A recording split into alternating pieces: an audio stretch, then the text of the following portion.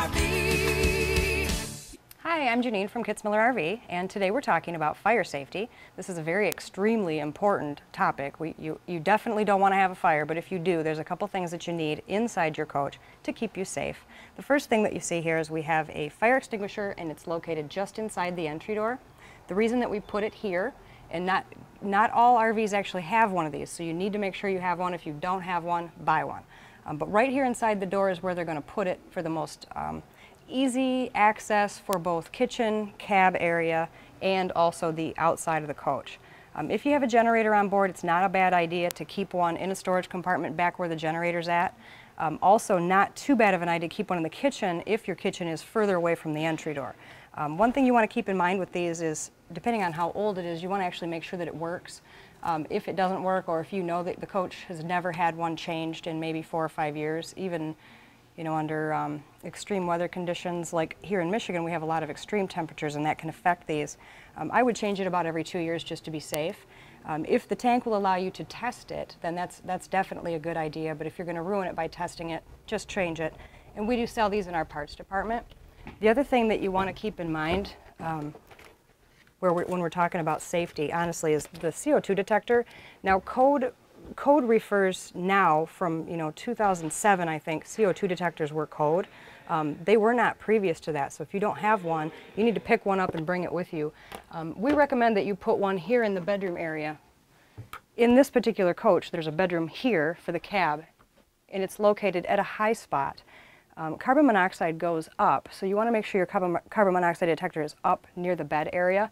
And then in the back bedroom on this particular unit, because it's so far away from this other CO2 detector, we would want to put one of those somewhere near where you sleep, as close to a bed pillow possibly, or, or somewhere near the ceiling. And this one we could mount it directly to the ceiling. Um, in the parts department, these are about $90, and this is um, um, you know, something that quite honestly is priceless. Now that we have CO2 detectors in both of our sleeping areas, the next thing we want to check is our LP leak detector. This is usually located someplace within the coach down close to the floor because LP gas goes down and that's where it's going to detect it.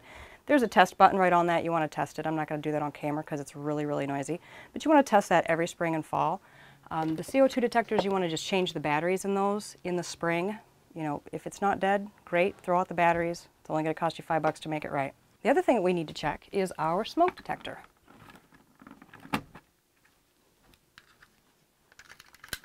That's it, folks. Just change the battery every spring. Don't wait until it goes dead. Part of the problem with these is we're not in the coach enough to know, you know, like at home the thing beeps at you and you know to change the battery. But if you walk away from your coach for a month, hello, you're not going to know that it's dead because it's just going to go dead and beep while you're not in the unit. So just change this thing every spring.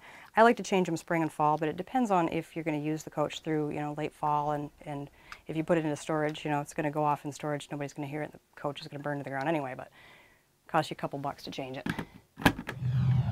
The next thing you want to check is if you ever have a fire, you're actually in the bedroom of this coach right now. All bedrooms have an emergency escape window if they're not really close to an entry door. So you want to test these and make sure that they're functioning properly. You don't want to have to do this if there is a fire, so you want to be confident that you know how it works and that it actually opens, it's not stuck or anything. This is a swing out window. All you're going to do is just make sure that it swings out, relock it, and make sure that you get these latch tight because otherwise the window will fly open while you're driving. Thank you for watching. If you have any other questions about safety, you can reach me at kitsmiller at AOL or you can visit us on the web at kitsmillerrv.com. Just click on the contact button and ask all of your questions there. They will come to me by email. If you can call, you can also call us toll free at 888 273 6963.